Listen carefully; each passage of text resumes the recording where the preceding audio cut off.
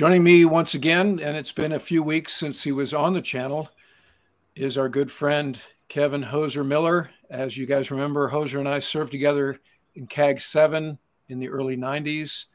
Hozer was CAG Paddles. I was a Cat 2 Rio and VF 143 aboard Eisenhower. And as you guys also remember, Kevin is a noted author. And among his body of work is this work of historical fiction called The Silver Waterfall, which is a novel about the Battle of Midway. So I thought here on the 80th anniversary of this famous battle, this legendary battle, who better to describe it to us than Hozer? Hozer, welcome back to the channel. Hi, Mooch. Great to be with you. So let's start setting the scene with Pearl Harbor. The Japanese Navy attacks Pearl Harbor and the carriers aren't there. So that proves to be a fortuitous eventuality as the war goes forward. So we enter the war, a day which will live in infamy. What people maybe forget is a mere six months after Pearl Harbor, we get involved in this legendary battle in early June. So set it up for us. Admiral Isoroku Yamamoto said that uh, given war with the United States and Great Britain, he would run wild for the first six months and win victory after victory. But after that, he had no guarantee of success. And, uh, and yes, Japan did run wild. And, and within hours of Pearl Harbor, they attacked our forces on the Philippines. They attacked the Dutch East Indies. Uh, they attacked Singapore. Uh, they sank the British battleships Repulse and Prince of Wales. They attacked Rabaul, um, uh, Darwin, Australia, and, and took their, uh, their, their task force, uh, four of their Pearl Harbor carriers, into the Indian Ocean, sank a British carrier, and, uh, and beat up their naval base at Trincomalee. So Japan is on the march, and in just you know weeks after the, the beginning of hostilities. Um, the United States um, had those carriers, though, as, as, you said, and, and, and we had three at the outset of the Pacific War, and, uh, and, and more came over from the Atlantic Fleet. Um, but in, in early February 1942, uh, you know, we sent Lexington and uh, an Enterprise to uh, to the Central Pacific Islands and started to uh, to, to attack Japan where we could. And, uh, and, and these raids were largely ignored by the Japanese. You know, they they did not cause them much trouble. But on April 18th, 1942, USS Hornet, brand new ship, delivered 16 B 25 bombers, to do a Doolittle raid, arguably the, the greatest aerial raid in, in, uh, in military history. And uh, this attack, of course, shocked the Japanese. I mean, we brought the war right to their capital. And uh, uh Japan said, okay, we have to keep husband resources back in Japan to uh, defend against future attack. And less than one month later, at the Coral Sea, we met and, and thwarted a Japanese thrust to cut the sea lines of communication with Australia. And uh, we were able to, uh, to sink a Japanese light carrier, um, heavily damaged their carrier Shokaku, a Pearl Harbor raider, and uh, shot down many airplanes on the, on the air group of Zuikaku. Uh, so Japan could not uh, continue. Japan was able to uh, to attack and eventually sink Lexington, beat up Yorktown very badly. They sank an oiler. Uh, so a, a, tactical loss perhaps for the United States, but a strategic win.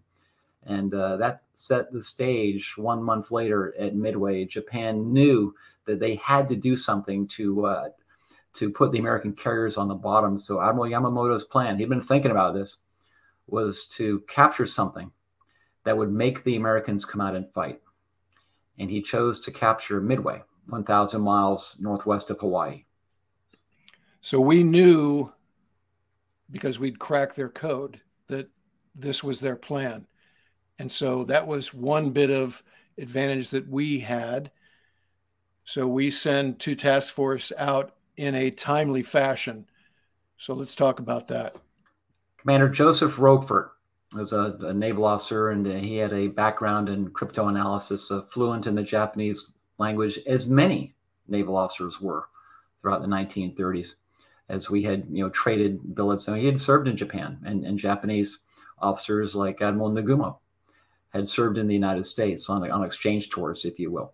But uh, through painstaking mathematical analysis, they had broken most of the Japanese code. And so he brought this information to Commander Edwin Layton, who was Nimitz's intel officer.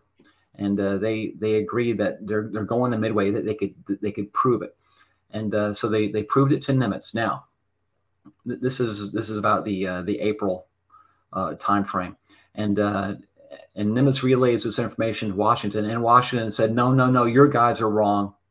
They're going to go to Johnston Island. They're not going to go to Midway. And, and uh, so this is the famous water ruse message that, uh, that, that some think, okay, that, that, this will allow us to prove that it's, it's Midway. The, Rochefort and Layton and Nimitz in Hawaii knew they were going to Midway. So they sent this water ruse message. And so they basically said, okay, Midway, send in the clear that your freshwater evaporator is, is in op or on the fritz or words to that effect. So they sent that message in the clear. Japanese intercepted it, and uh, they were able to analyze the Japanese intercepts, and they and they, they said, yeah, the, the freshwater condenser on Midway is not working, so we'll have to bring extra fresh water when we uh, when we do our amphibious assault. So this information was sent back to Washington to prove to Washington what Hawaii already knew as we said, the task force pushes out to the northwest from Pearl Harbor, and they manage to get underway in a timely fashion, and they avoid crossing paths with the Japanese task force as a result of that. And so that was bit of luck slash skill number one in in this battle. Yorktown limped back from the Coral Sea, and uh, and she went into dry dock there in, in Pearl Harbor and the dock masters uh, told Admiral Nimitz, who was inspecting her hull and waders, and uh, Admiral, it's going to take us three months to make this ship ready.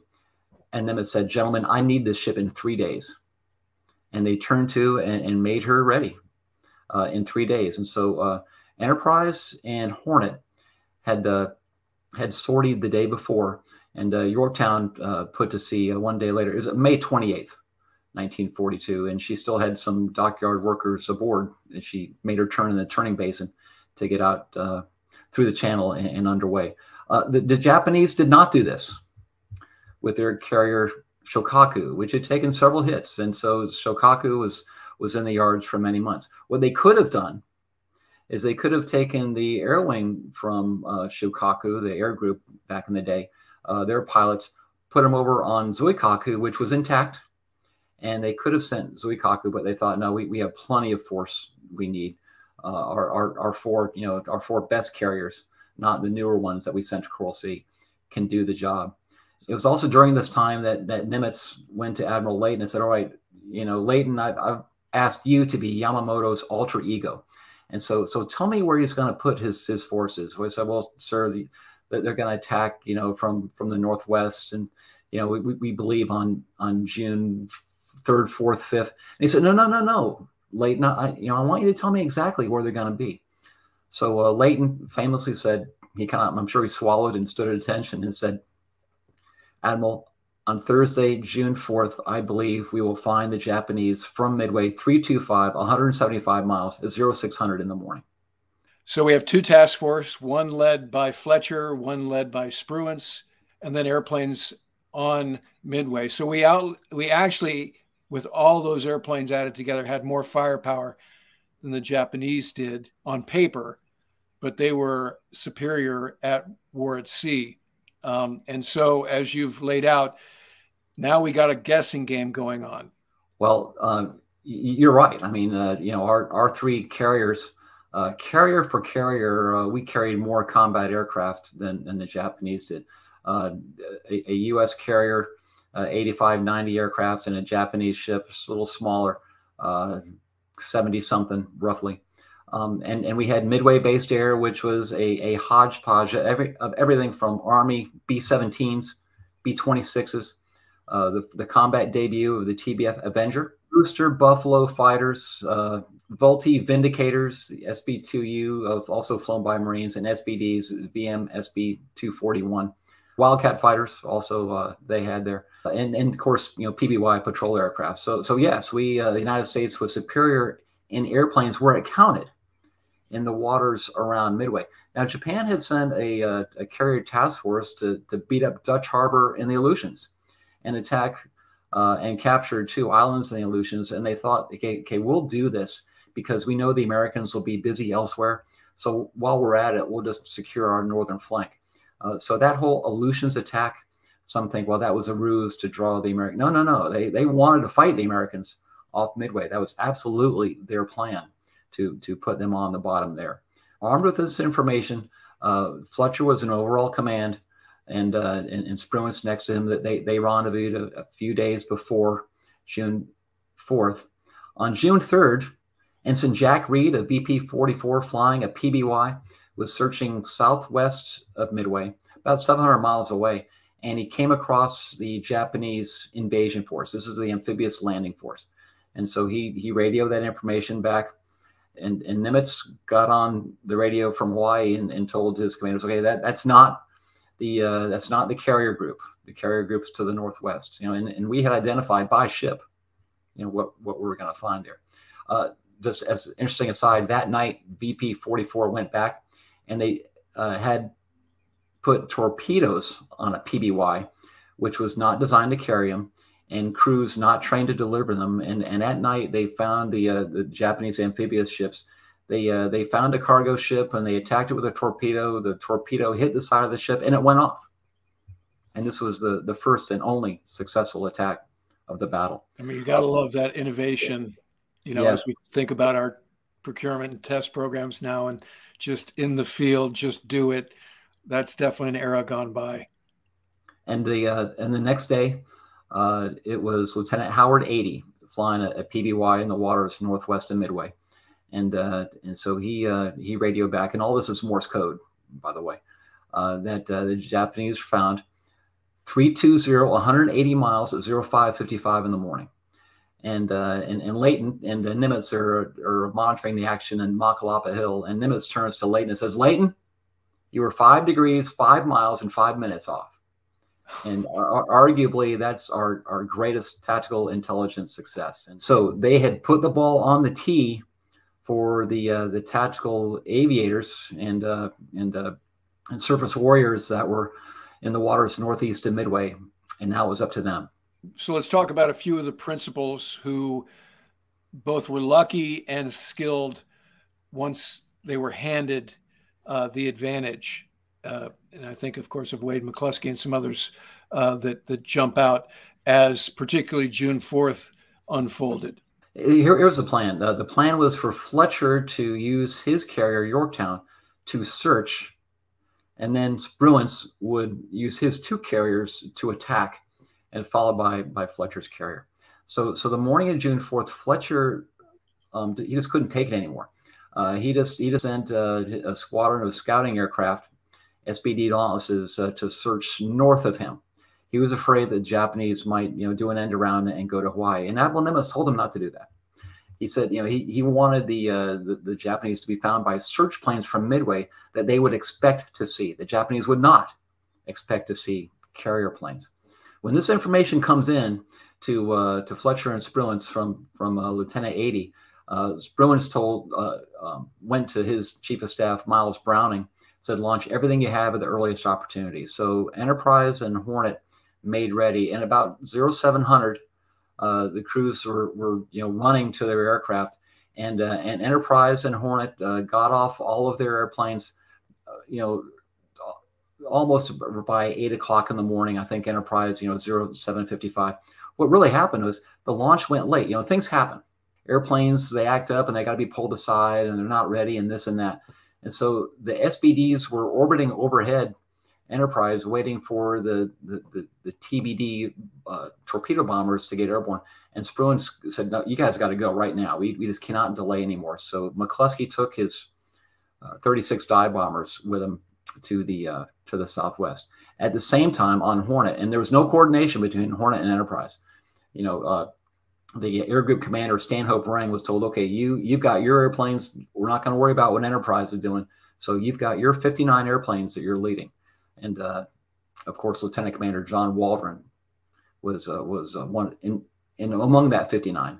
So notably, the Japanese got their sorties launched in minutes. And as you mentioned, it took us over an hour to get all of the mission aircraft airborne. And as a function of that, the fighters were already low on gas, which plays out as we go forward here. Um, so as we think about cyclic ops and how quickly we'll want to get a 25 plane event into the air, you know, our time frame is, you know, that should take minutes, not an hour. And so that was a sort of in the others category for the U.S. Navy uh, at, at that point. But we made up for it as this day unfolds. Some of it was skill and some of it was luck. You're right. I mean, the, the, the Japanese can can be admired, you know, still today. Uh, their their technique, their doctrine is uh, all right. The first airplane is gets a signal to launch, and then the second one behind it launches. Then the third, and they just go. They just they just take interval on each other. Whereas the Americans, you know, we we taxi in position, and they you know run the engine up to full power, and the the the uh, the, the, flight deck officer would be waving a flag and he would listen to the revs of the engine and he would think, okay, that's good. Or, or yeah, maybe you know, let's, let's try that again. And, and so it took time. Uh, Japan at, at dawn that morning, just as they had at Pearl Harbor, they launched over 100 airplanes uh, led by Lieutenant Tomonaga of Hiryu. And they went to attack Midway. And the plan was to, uh, to, to neutralize Midway. And that would set the stage the following day for the invasion force to uh, to land troops on the beach and, and, and take it. Um, they they were uh, met by stiff American resistance. Uh, American fighters flown by Marines, led by uh, Major Parks in, in his Brewster Buffalo. Uh, he, he lost his life and, uh, and, and was shot down and, and, and strafed in his chute. That's the, the brutality of, of World War II. The Americans, though, did some good work with their fighters and with the AAA that Marines are, are, firing as the Japanese attack. So the Japanese it, it lost you know significant number of airplanes. They really hadn't seen losses like this before, and and this information was radioed back to Admiral Nagumo. There is a need for a second strike, and this was not part of their plan. They're, they're okay. One strike, we're going to neutralize it like we always do. We always kick their ass, and then uh, and then we'll be ready for anything. So so they had airplanes in the in their hangar bays that were ready to attack ships if any showed up. But we need another restrike. So, okay, and here it comes. Let's download the ship ordnance. Let's upload general purpose bombs for land ordnance. While this is happening, and we know this takes time to download and upload, uh, their scouting uh, aircraft uh, found uh, 10 American ships, a surface action group, and 10 ships. Okay, Americans are here. I mean, our, our day of glory comes sooner. But uh, okay, what, kind of ships? Is there a carrier among them? So tell us, is there a carrier there? And uh, so that took time. And then when it was finally found out, uh, yes, there is. Okay, now, all right, guys, stop the load, download the general purpose bombs for land, upload the armor piercing bombs and, and the torpedoes for ships, and, and we're going to attack them.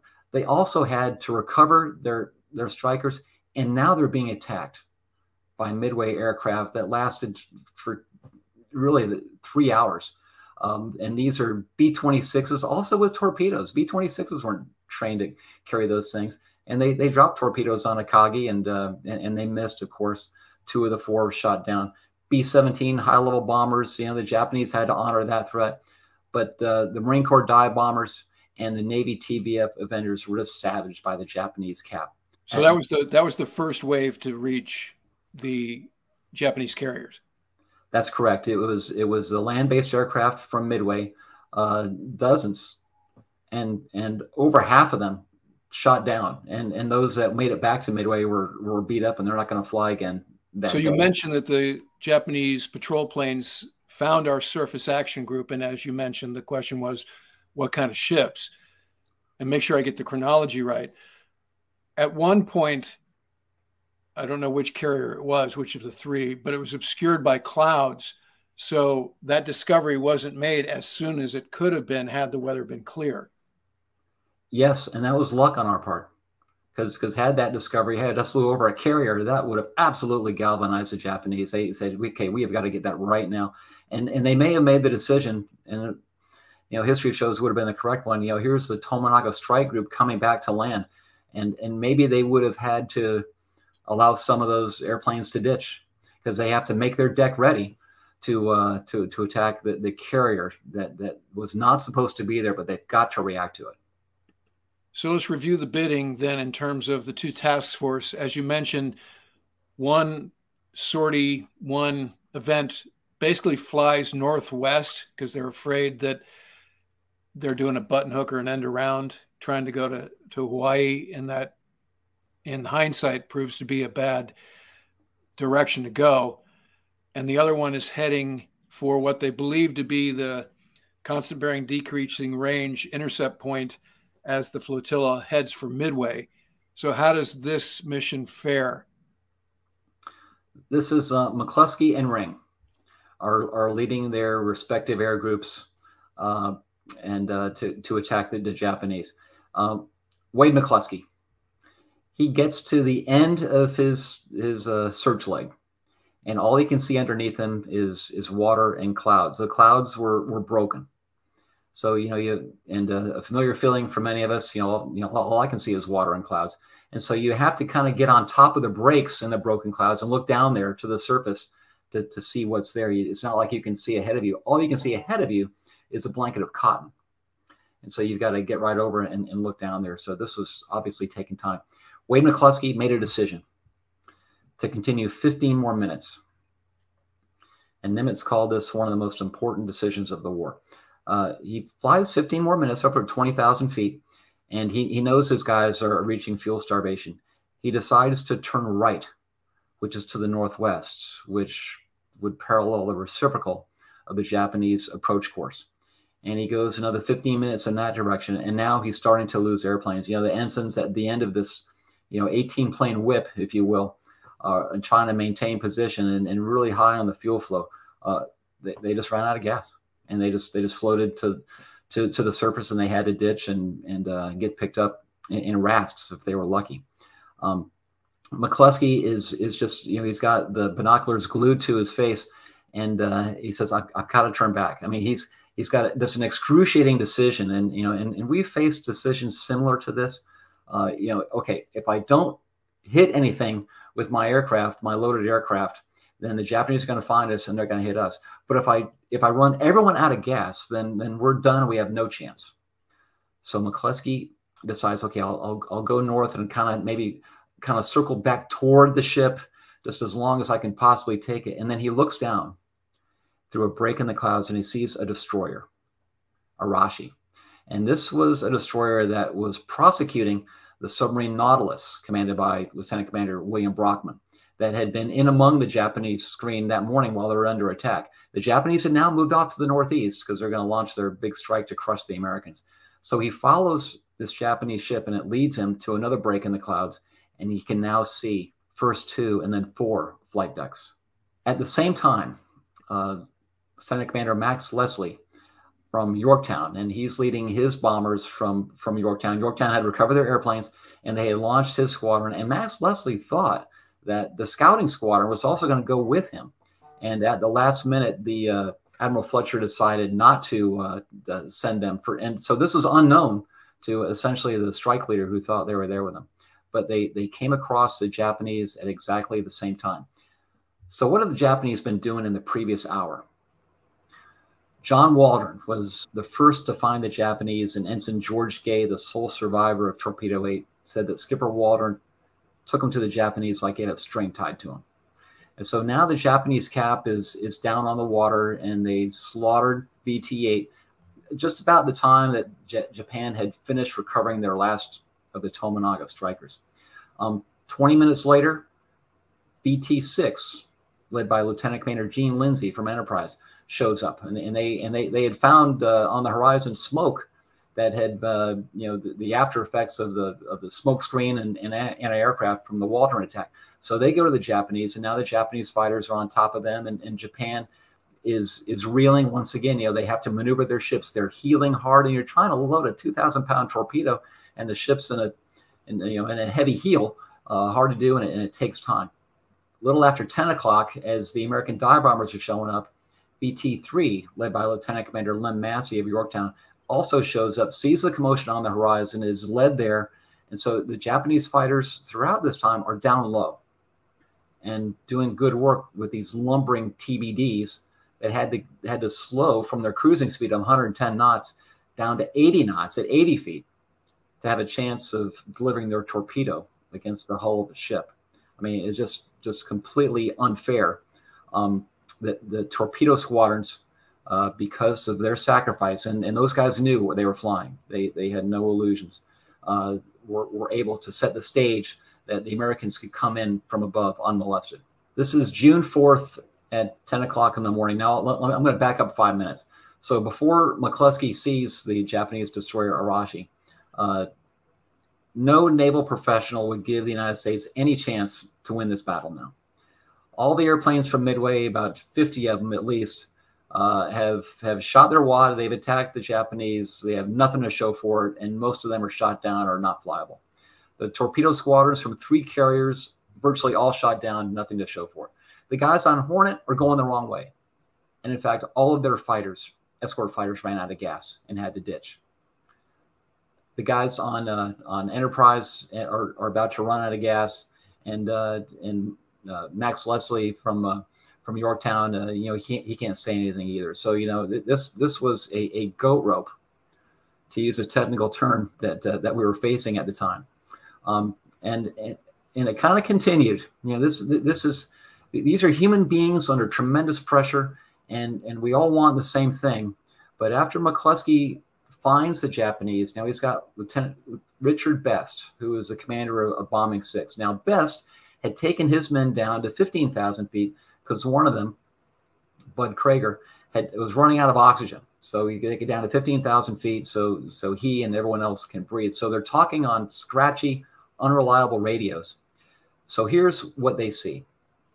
McCluskey sees side to side. Okay, here's a carrier, here's a carrier. Best sees near, far, near, and far.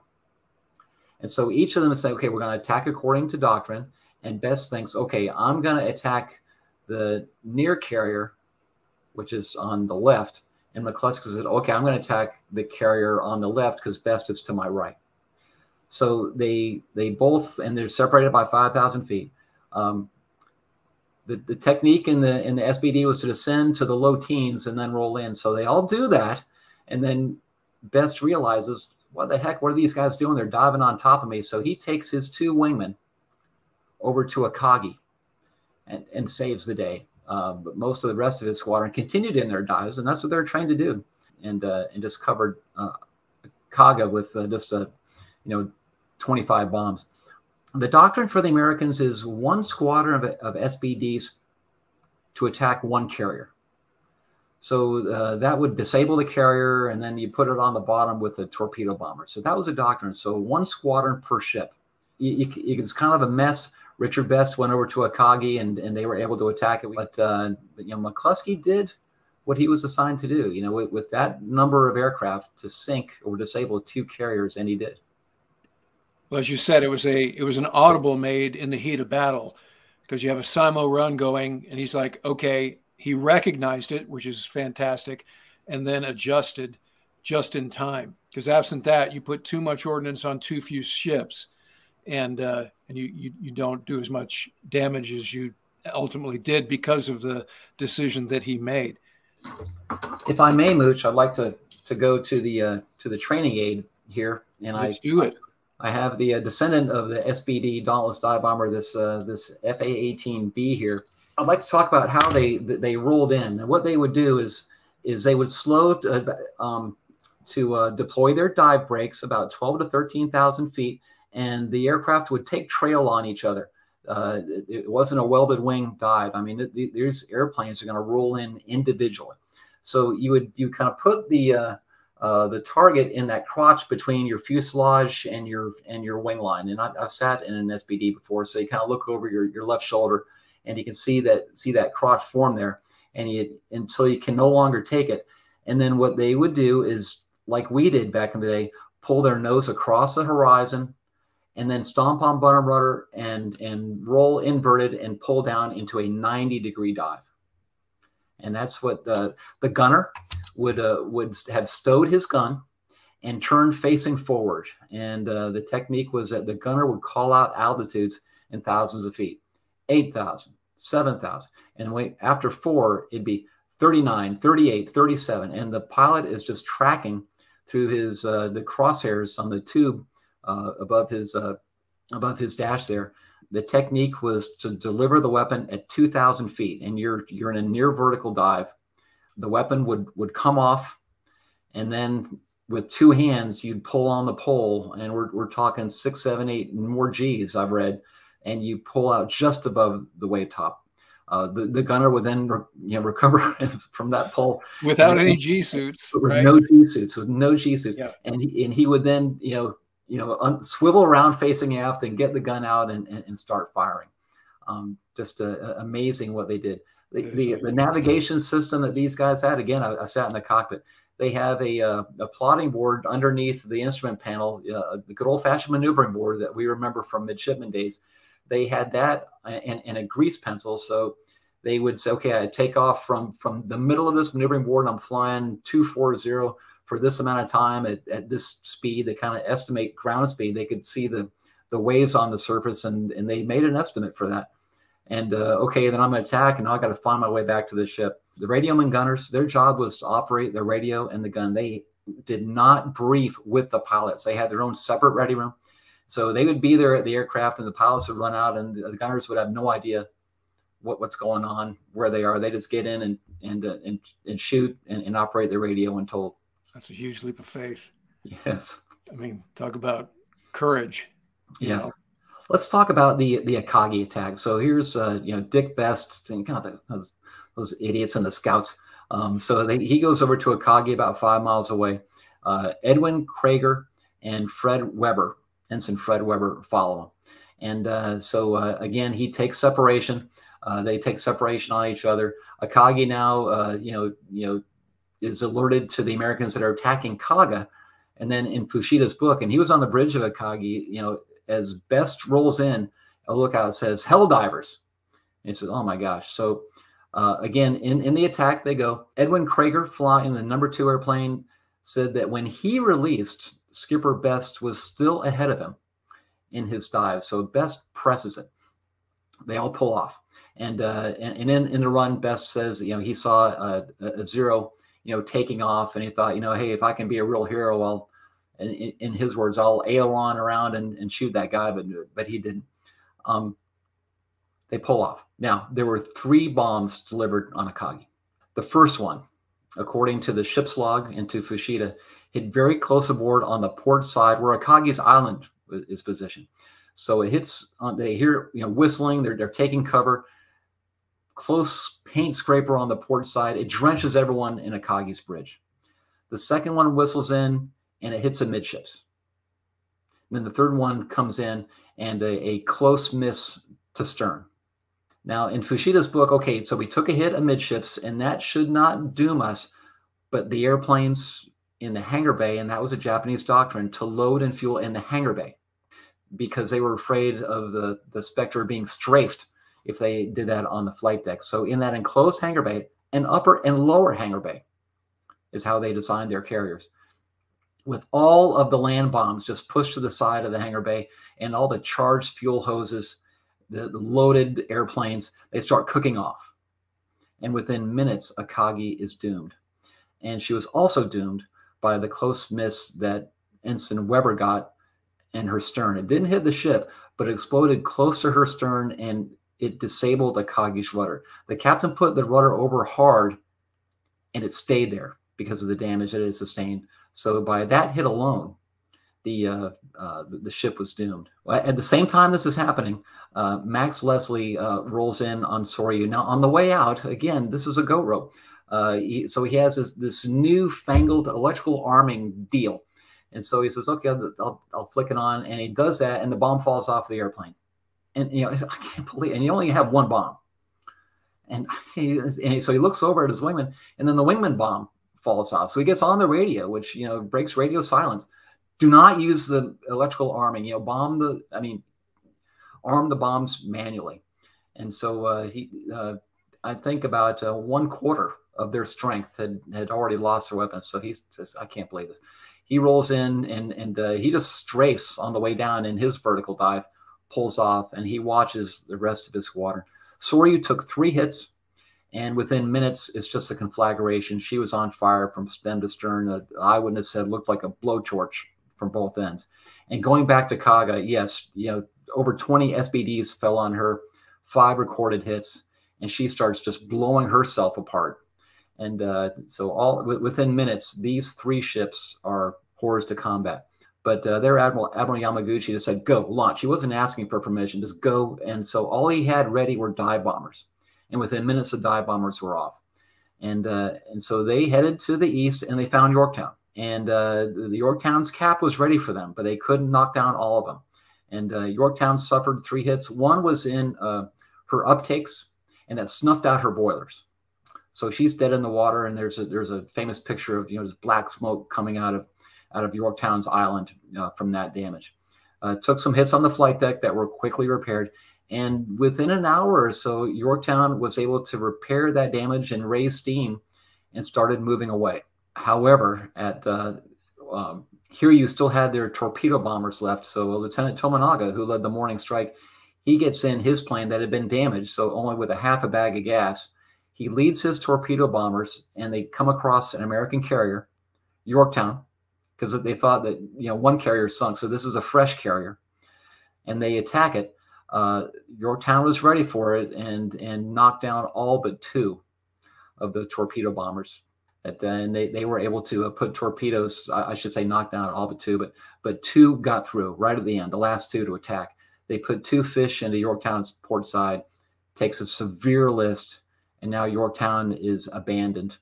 Um, and this is where Admiral Fletcher, uh, you know, famously said to Admiral Spruance, "Will conform to your movements." So he, he, you know, he passes Spruance the lead, and uh, uh, Fletcher's planes had relayed to Spruance, "Okay, here's where the fourth carrier is. Hiryu. And late that afternoon, Fletcher uh, Spruance was able to launch a strike from Enterprise and Hornet uh, with, with several Yorktown orphans that just landed on on those American decks. They put five bombs into Hiryu, and, and she burned until a terrible explosion around midnight, and then she was abandoned. She floated the next morning before she finally sank. Yorktown floated uh, throughout the 5th, and so uh, a fleet tug was sent to, to bring her back to Pearl Harbor. Uh, on the afternoon of the June 6th, the destroyer Hammann was alongside Yorktown providing power, and they're, they're trying to correct the list, and, and they're going to be able to save it but a Japanese submarine I-58 got in the American screen and put uh, torpedoes into Hammann, broke her in half. She sank within five minutes. Heavy loss of life.